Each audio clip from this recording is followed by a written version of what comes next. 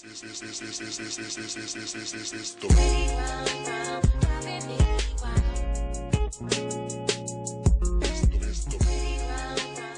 everybody, it's Ivy, and today I'm going to show you how I got these super cute baby pink almond nails. So let's get right into the video. Today I'm using some gold nail bits. I got these off Amazon and I got it really for this one right here. I got this one to clean my cuticles. As you guys know in my last video, I used to soak my nail to clean the cuticle, but this works so much faster and easier to be honest. And it gets my nails much cleaner. Just make sure to have a light hand. You don't want to, you know, press too hard into your nail bed because it can cause damage and it could like make you bleed even. So make sure you're keeping a light hand and make sure your drill isn't turned up too high. But just go around each finger, around the cuticles to clean up any dead skin or anything. This is just going to give you a really nice, clean, professional looking application. So now we're going to switch over to a different nail bit and I'm just going to go ahead and drill away the shiny layer off the top of my nails. Make sure you don't drill too much of your nail away. You want to be very light handed. This is one of the reasons I started doing my own nails because I got tired of people fouling away my entire nail. Okay, so just be really delicate with your own nails. Now I'm going to use some dehydrator. What this does is just suck up any extra oils on your nails, just so whatever you're using can adhere to your nails really good. Now we're going to go into some primer, and this is the Mia Secret Bond, and this works so good, you guys. Like my nails last forever. Like one set can last on my nails like a month literally without doing a fill in. When I use this primer, it works so good.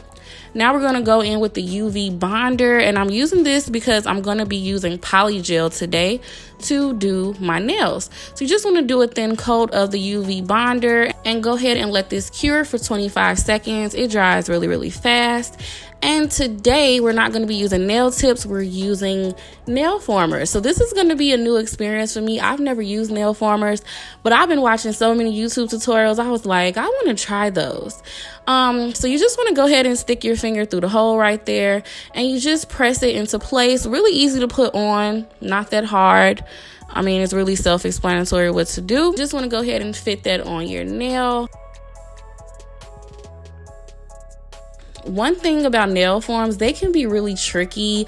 I think this is a step up above my abilities with doing nails, but I thought, uh, let me just dive into nail forms and try it and practice it now so I get it down packed. But oh my God, they are the hardest little things to use, okay? So um, we're going to be using polygel, like I said earlier, and I'm using this really nice pink color. And you just want to squeeze out a nice pea amount and put that on your nail. Now you can use a little tool right here to scoop it off, but it worked just fine doing it like that. And I'm just going to begin sculpting my bead. Now what you want to do is blend this bead around your nail very lightly. This polygel stuff is very thick but you don't want to put too much pressure because then it'll move the wrong way. But I really like that you're able to work with it because it doesn't dry down. Um, it's just, it's very beginner friendly. It's awesome, but one thing I would have to say, please don't use polygel in nail forms. It's the hardest thing ever to use, at least it is for me. If I was using tips, like polygel would be perfect.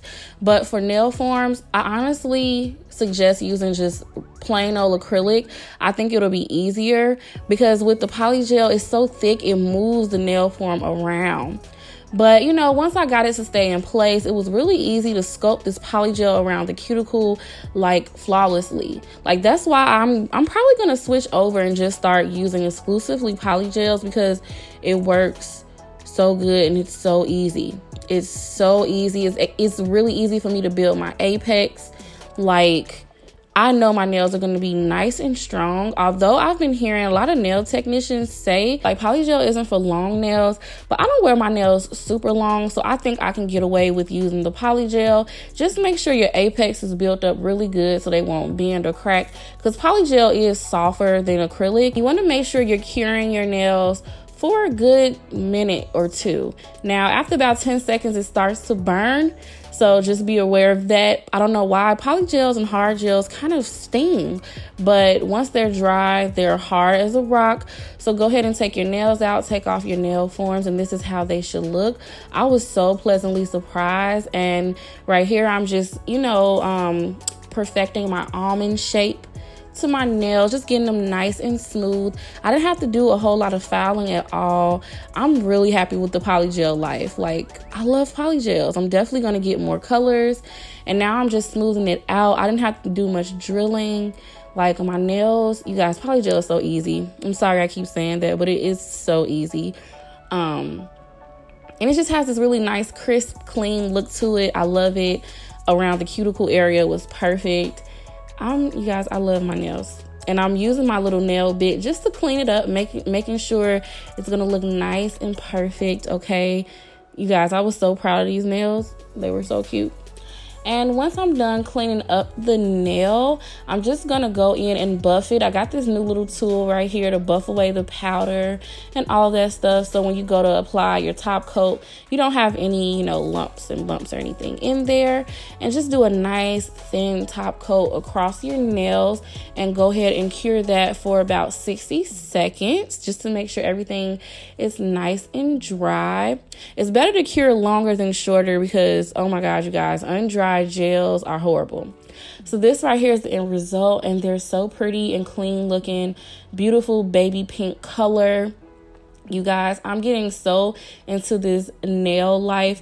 I hope you are enjoying my nail tutorials. I'm definitely going to be doing them often, probably like once a week or once every two weeks.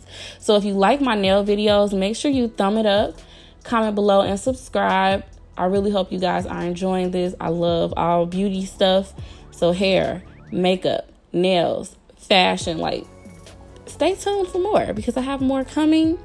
And again, thanks for watching, you guys, and I will talk to you next time.